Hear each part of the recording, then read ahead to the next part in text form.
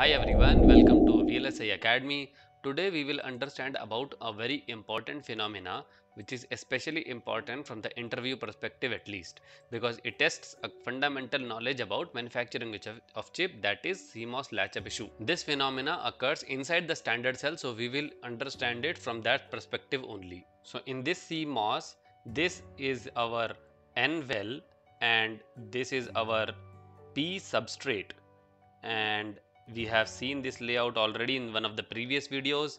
This is your diffusion region so this is your p plus this is also p plus and this is your n plus and this is your n plus. So like this and then this will be your drain connection this will be your gate terminal this should be your source. Similarly here also this should be your drain gate and source connections. So in this layout what actually we have done is these are the two gate terminals in which your input will be connected. So this is your input connection and there will be one output connection here.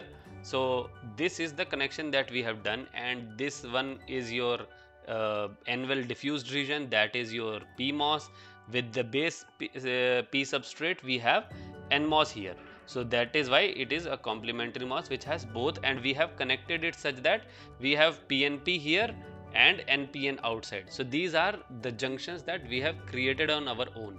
But what happens is we will while while working of this transistor what happens is there are some parasitic elements that can be diodes or transistors that gets formed inside the chip now the question is what is parasitic element so parasitic element is something which we have not constructed it is getting formed on its own and it is an unwanted thing which does not is needed and is causing the problem to us. Let us try to understand the latch up problem here. So we will take two transistors for modeling the latch up issue and these will be NPN and PNP transistors that would be formed inside the CMOS and we need to understand how actually that would happen. So in this PNP this base is your n well and uh, let us say that we have an n plus region which will be actually connected to your VDD and your drain is also connected to VDD so this will be your VDD line. And similarly we will have one P plus region here also and that is for modeling and it will be connected to VSS so this VSS and this our source also will be connected like this. And what happens is so your this n plus will be connected which will represent some resistance and will be connected to the base of this PNP. So this uh, resistance will be represented by the well resistance that will be calling as R well and similarly this substrate will also be connected to the base. So in this case this will be your base and it will also be connected via some resistance and it will be connected to the base. So this resistance will be your substrate resistance. So these two transistors that is your this PNP and this is our NPN and these two transistors are here only for modeling purpose. We are just trying to model what happens inside the transistor during the operation. So let's say if it is operating and for some reason if there is any voltage shoot at the VDD terminal or undershoot. So let's say first the overshoot. In the overshoot case what will happen is this terminal will be connected to the VDD and this P plus region this is connected to your emitter and this Uh, th this collector terminal will be actually connected to the base of your other transistors so basically it will be connected like this and it will be connected like this and this n plus will be connected like this and we are trying to understand what will happen in the case of overshoot. So if you see these drain and source terminal of your PMOS they are connected to the emitter the emitter portion of the transistor of PNP.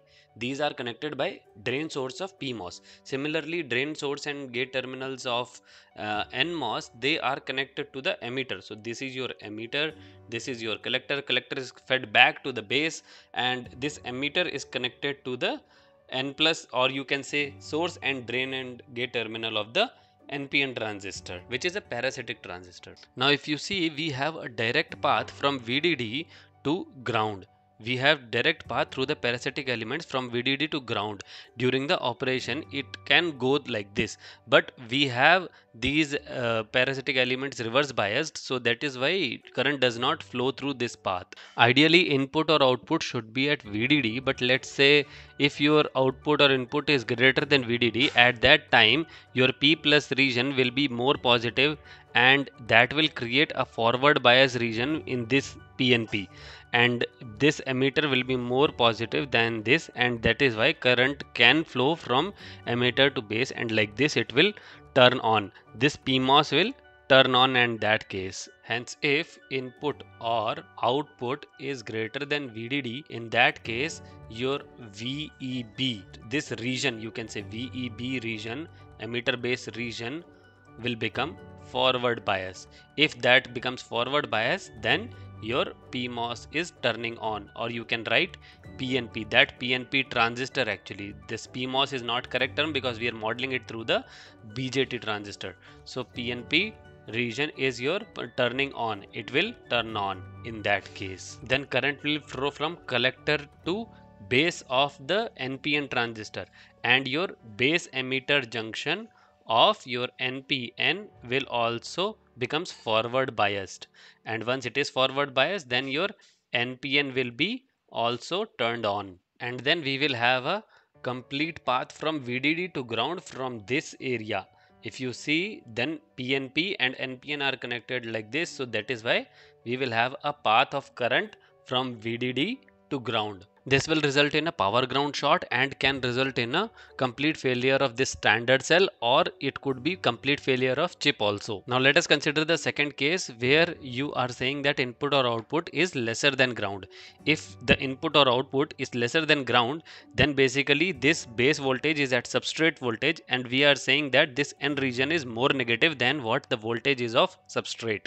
So in the case of NPN if we say what happens is your substrate voltage is, is your source voltage is or negative and substrate is at higher potential so that is why your base emitter voltage is forward biased and hence your NPN will turn on and your NPN gets turned on. Once this transistor is turning on, there is collector base feedback and collector current will flow from here to the base and that is why this PNP also gets turns on and hence once again we have current from direct gr ground to VDD path we have which will result in a VDD ground short or power ground short which will result in a failure of the chip again. So in both the cases if you have input or output greater than VDD or input or output greater than lesser than VSS you can say voltage overshoot or undershoot on the uh, input or output.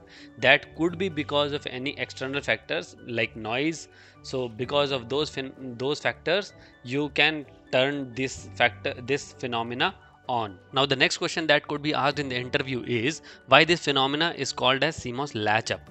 So if you see the phenomena of uh, getting the short circuit from VDD to ground is occurring because of input or output disturbances and this collector is feeding back to the base of this PNP and this collector of PNP is feeding back to the base of NPN and this feedback loop is formed here. Now even if you remove these disturbances which was causing this issue, it can still sustain on its own and current will, once this has turned on, the current will keep feeding from VDD to ground and even if you have removed this input or output disturbances, it does not matter now because this feedback is uh, self-sustained now and that is why this is a latch up. We hope we have conveyed the concept of CMOS latch up properly. If you have any questions or doubt you can ask in the comment section.